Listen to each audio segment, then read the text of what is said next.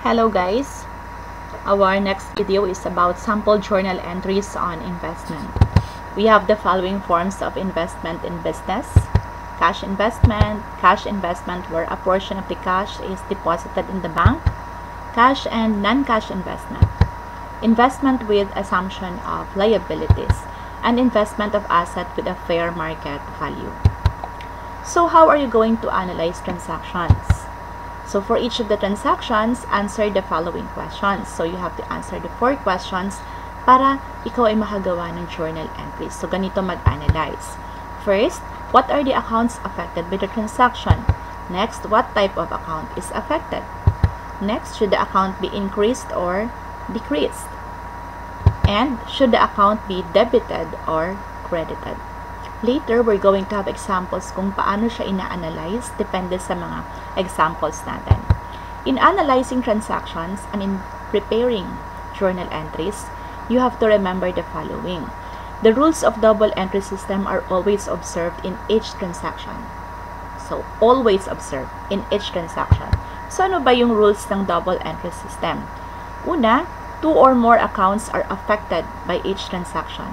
So, at least two or it can be more than 2 accounts pero hindi pwedeng bababa sa 2.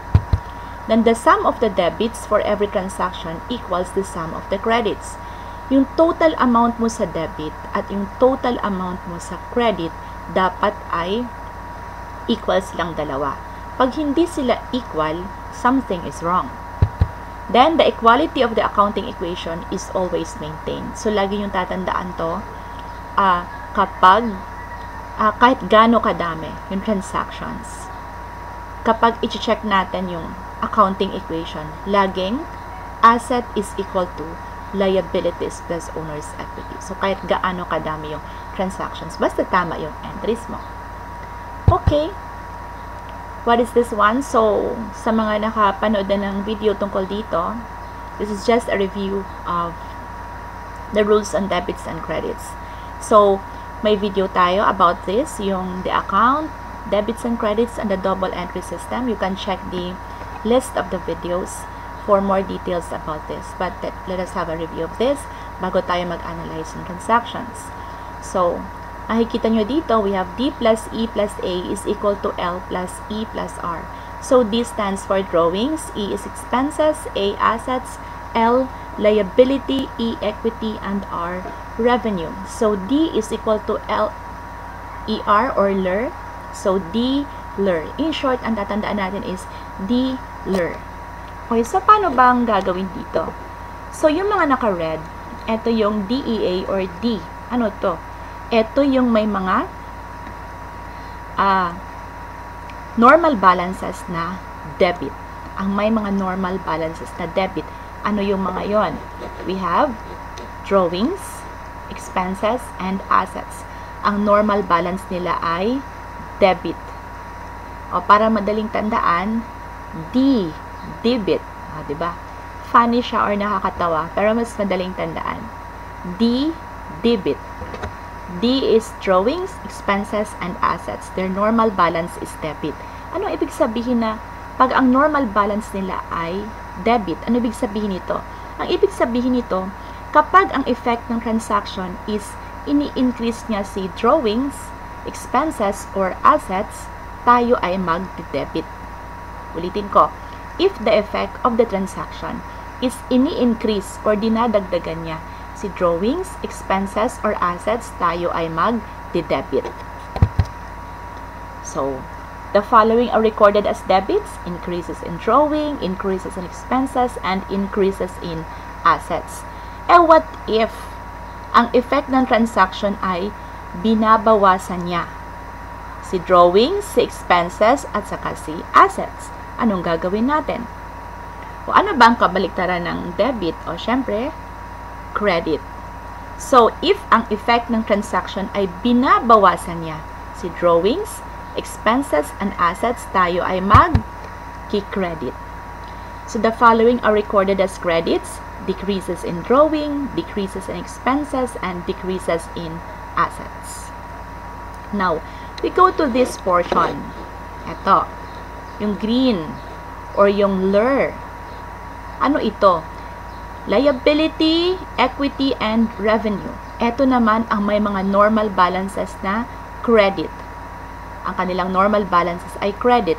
Meaning, if ang effect ng transaction is dinadagdagan si liability, si equity, or si revenue, tayo ay mag-credit. So the following are recorded as credits, increases in liabilities, equity, and revenue. Paano naman kung ang effect ng transaction ay binabawasan niya si liability, si equity, at saka si revenue?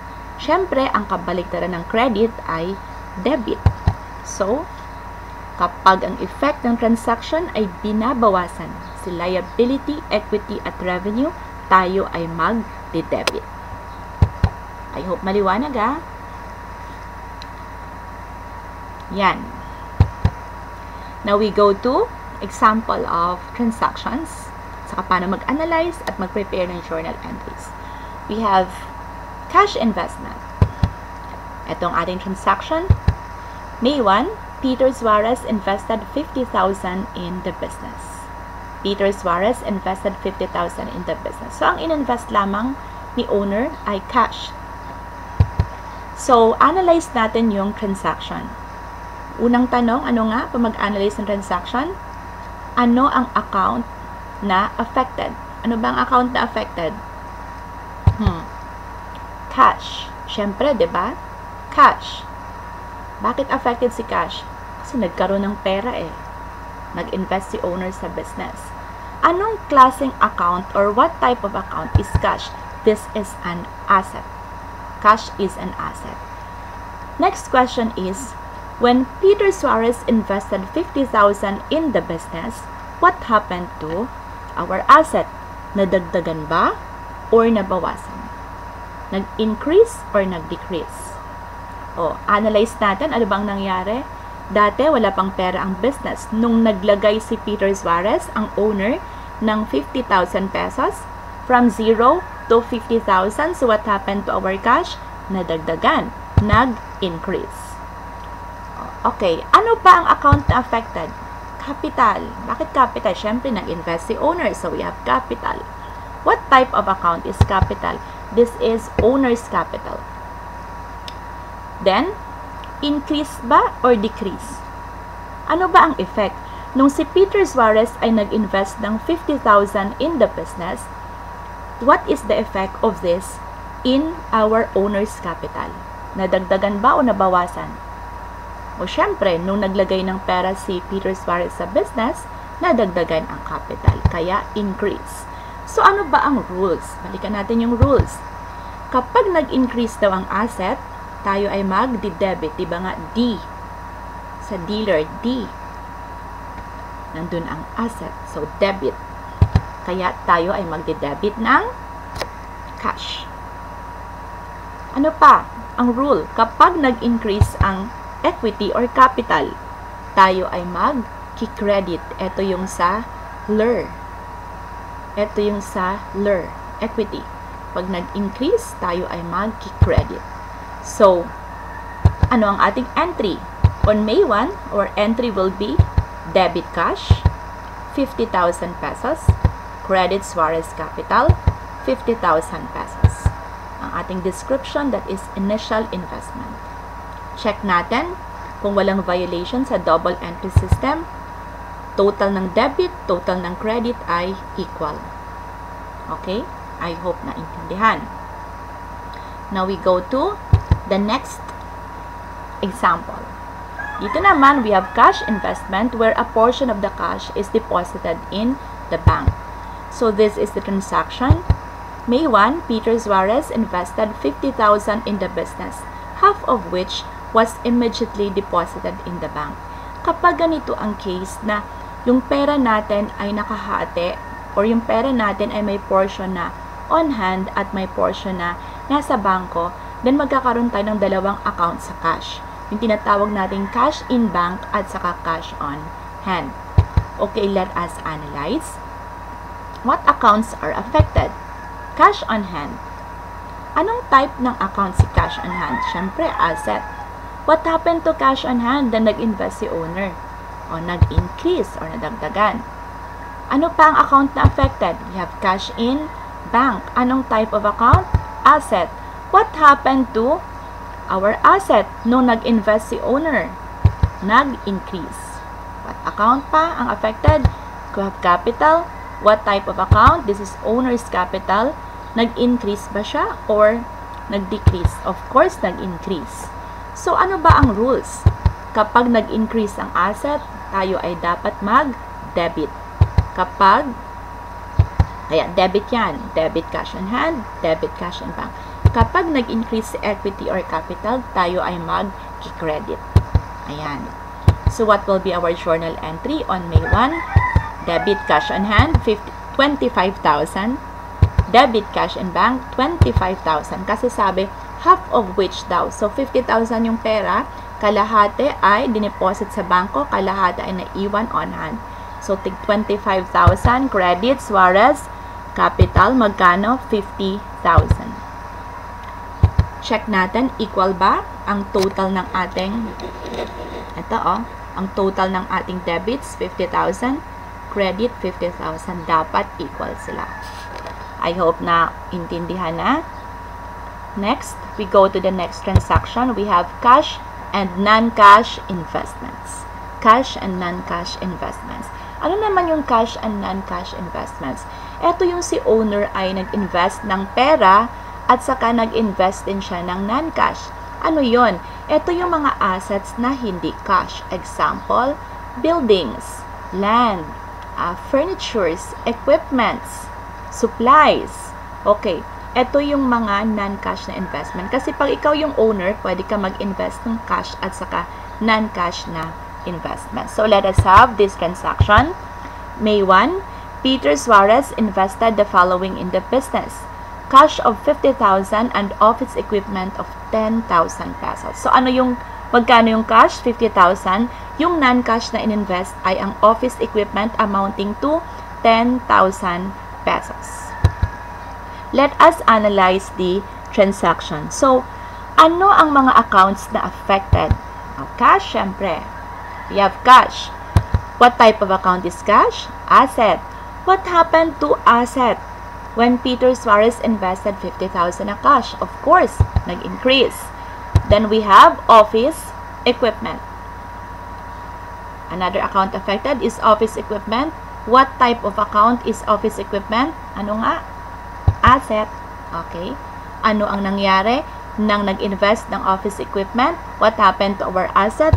Nag-increase or nadagdagan. What else is affected? Capital, of course. This is owner's capital. Kasi bakit capital or owner's capital ulit? Kasi nga this is investment ni owner. Basta nag-invest si owner, lagi yung tatandaan, dapat meron doong capital na account. So, increase or decrease ba ang effect ng transaction? O, nag-increase, nadagdagan ang ating capital. Now, we have to analyze. So, rules muna. Ano ba ang rules? Kapag nag-increase ang asset, tayo ay magde-debit. Kaya we debit cash, we debit office equipment. Pag nag-increase ang equity or capital, tayo ay mag-credit. Kaya we credit capital. Now we go to our journal entry. On May 1, what will be our entry? Debit, cash. Magkano? Magkano ba yung ating cash? 50,000. And then we debit office equipment, 10,000. Inan nyo mabuti ha. Ayan na naka-debit ha. Debit, cash. Ayan. Debit, office equipment. Ayan yon. Okay. Saan nakuha yung amount? 50,000. Ito siya. 10,000. Ito siya. Okay. What will be our credit? Of course, Suarez Capital. Magkano? I-total lamang natin 60,000. Kasi ang in-invest, cash at non-cash, total of 60,000. Now, we check if they are equal. Ayan. Dapat equal si total ni debit 60,000, total nito 60,000. Next, investment with assumption of liability. Ano naman ito? Minsan si owner nag invest siya ng assets niya, pero inutang niya to. May balanse pa na utang Ibig sabihin, binibigay niya yung asset niya sa business, pero yung asset na yon, okay, na ini-invest niya ay meron pang liability na nakakabit or merong utang. So, ang laging question dito is that, sino na ang magbabayad ng natitirang utang or ng balance sa liability kapag ininvest niya ito sa business? Kung si business na, yung sinasabi natin, with assumption of liability, meaning si business na ang magbabayad ng utang, o ganito ang ating mga transactions. So, May 1, Peter Suarez invested cash of 30,000 and an office equipment costing 20,000, which he bought last year. There is an outstanding liability of 10,000 pesos in the equipment which will be assumed by the business. So, ang ini-invest ni owner ay cash na 30,000 at office equipment na binili niya at 20,000. Pero yung office equipment, ano daw? May utang pa siya doon na 10,000. Ngayon, yung utang daw na 10,000 ay alin? To be assumed by the business. So, ibig sabihin, ang magbabayad na ay si business. So, let us analyze. Ano ang accounts affected? Cash, of course. Anong type of account? Asset. What happened to asset? Nag-increase. Ano pa ang affected? Office equipment, syempre. Anong type of account si office equipment? Asset. Okay. Asset. Then, what happened to asset? Of course, nadagdagan. Okay? Ano pa ang affected? We have accounts payable. Ano ba yung accounts payable? This is a liability account. Ito yung utang Oh. Anong klaseng account siya? Liability. What happened to accounts payable or to liability nung nag-invest si Peter Suarez ng equipment na may utang to be assumed by the business? Siyempre, dati wala pang utang sa business or anong effect? Nadagdagan ang utang ni business. So, increase in liability. And then what else? Of course, capital, type of account, owner's capital. What happened to capital? Of course, nag-increase. Now, what are the rules? Kapag nag-increase ang asset, debit, kaya debit cash, debit tayo ng equipment kasi nag-increase ang asset. Ngayon, anong rule? Kapag nag-increase ang liability and equity, o, kung natatandaan nyo, ito yung sa LER, normal balance nila ay credit. Kapag nag-increase, ano daw? Credit. Ayan. Credit tayo. So, what will be the entry? Debit. Cash, 30,000. Debit, office equipment, 20,000. Bakit 20,000? Eh, yun naman talaga ang halaga niya, 20,000. Then, credit, accounts payable, magkano yung utang? 10,000. So, bakit natin isasali yung utang? Kasi nga yung utang, magiging utang na ni business. And then, Suarez Capital, magkano? Paano i-compute? Ang total investment, 30,000 plus 20,000 minus yung liability na assumed by the business. Minus 10,000. So, we'll get 40,000. So, ayan siya ha. 30,000 yung cash, 20,000 ang equipment, minus ang 10,000. So, ang totoo talaga na ininvest ni Suarez ay magkano lang? 40,000 lang. Ito lang ang totoong ininvest niya. Kasi nga yung 10,000 babayaran niya ng business. Okay? Check natin. Equal ba? 30 plus 20,000, 50 sa credit. We have 50,000. So, equal sila ano? I hope na iintindihan ha. Then, Next is investment of asset with a fair market value. May mga owners na nag-i-invest ng assets tapos masasalubong natin sa transaction. Dalawa ang given niya at cost at saka at fair market value. So nalilito tayo, ano ba ang isasama natin sa pag-entry?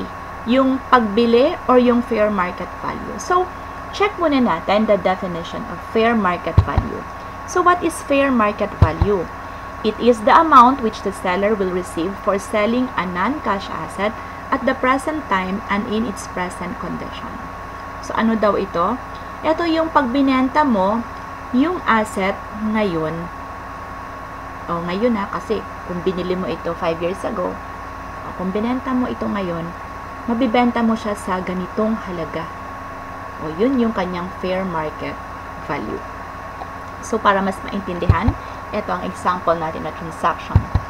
May 1, Peter Suarez invested cash of 30,000 and an office equipment costing 40,000, which he bought 3 years ago, but with a fair market value of 25,000. So, ano ang ininvest? We have cash, 30,000, at office equipment, 40,000. Pero, 3 years ago pa yung 40,000 na yan na halaga. Ngayon, pag ibebenta natin siya, ang fair market value niya ay 25,000 na lang. So, analyze tayo. Ano ang mga accounts affected? Of course, cash. Ano ang cash? Asset. Ano nangyari sa asset? Increase. Next, ano pa? Office equipment. Asset ito. Anong nangyari? Nag-increase. Then, we have capital, of course. Type of account, owner's capital. What happened to capital? Nag-increase. Now, we have the rules. Pag nag-increase ang asset, debit, kaya debit cash, debit equipment. Then, pag nag-increase ang equity or capital, credit. Okay? Paano ang ating transaction? Ay, ang ating journal entry. On May 1, we debit cash. Magkano ba ang cash? 30,000. Debit office equipment, magkano? Buti na mabuti ha. Kung magkano ilalagay natin amount? 25,000. So, laging tatandaan, if given ang cost, eto, at fair market value, ano ang gagamitin nating amount? Ang gagamitin natin ay ang fair market value. Ulitin ko. If given, kapag nag-invest si owner ha, sa business at given yung cost ng ini-invest niya na non-cash asset, tapos, given ang fair market value, ang i-record natin ay fair market value. Then, credit tayo, Suarez Capital, 55,000. So, let us check. Initial investment equal to 55,000 and then 55,000. So, I hope maliwanag tayo. So, para mas madaling tandaan, uh, mag-analyze muna ng transactions and then, laging tatandaan ang rules ng debit sa. So, madali lang naman mag-prepare ng journal entries. Ang nakakalito lang talaga is that yung hindi mo alam yung effect ng transaction doon sa mga accounts or hindi mo alam ang apektado ng mga accounts. So, malaki talaga ang magiging problema. Kaya very important that you are familiar with the accounts. Next, alam mong i-classify kung ito ay anong klase ng account. Next, yung transaction, alam mo kung ano ang effect nito, increase ba or decrease, and then you know the rules dun sa ating debit and credit. So, tatandaan lamang yung dealer. So, I hope na unawaan. So, next na mga videos, more tayo sa mga journal entries ulit, examples ulit ng iba't iba namang mga cases or transactions. So, hopefully, naintindihan ninyo. And thank you. Kung hindi pa nakapag-subscribe, click subscribe. Hopefully, nakatulong itong video sa inyo. Thank you and God bless.